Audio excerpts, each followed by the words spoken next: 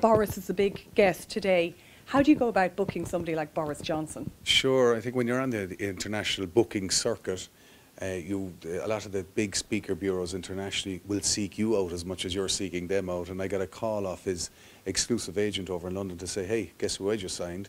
Uh, Boris, are you interested?" And I said, "Absolutely." And he said, "Oh, that's great." And and I suppose the question, why would we be interested in in such a uh, controversial figure, if you like, right? And the reason being is that um, our delegates, our attendees, our, our friends, if you like, out there, because it's a real good community out here, have been obsessed with Brexit for the last two years. And we wanted to uh, challenge them and give them a different perspective because Pendulum is all about encouraging a diversity of thought. And we're not asking people to agree with Boris, uh, but we're asking them to listen and listen to what uh, he feels the opportunities are for the Ireland-British relationship, Brexit or no Brexit. And I think it's a wonderful piece. We could have rolled out a lot of um, ministers here, Irish ministers, and they would have given the party line. But this is going to be different. It's going to be explosive. We have Brian Dobson lined up, who we all know.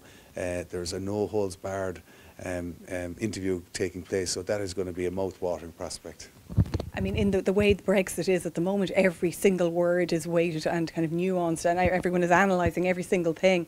So this could be actually quite an important point in the, you know, you know, accidentally could be a quite an important part in the process. Mm. How, how, but how do you think that he's actually going to be honest when he's up on that stage, Norma?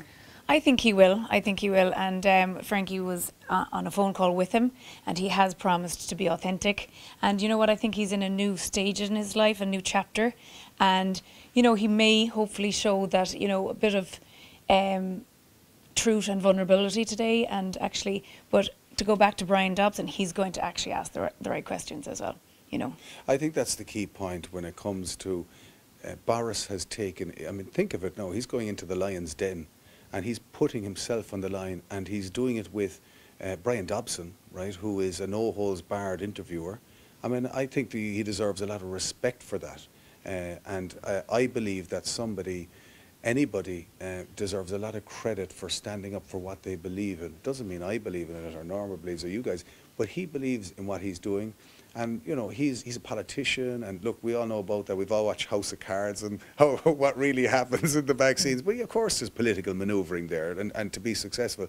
But this guy is a fascinating guy. He's a very very interesting guy, and, and you know he, this guy could be the next British Prime Minister. You know, and and, and that's the way it is. And and you know, whether you like him or loathe him, he is, uh, you know, you have to uh, respect uh, his stance on things. And, and a lot of the top CEOs in, in, in this vicinity where we are, are they're really excited. They're not saying we, we can't, we, we love him, but they just were really interested to see what he has to say.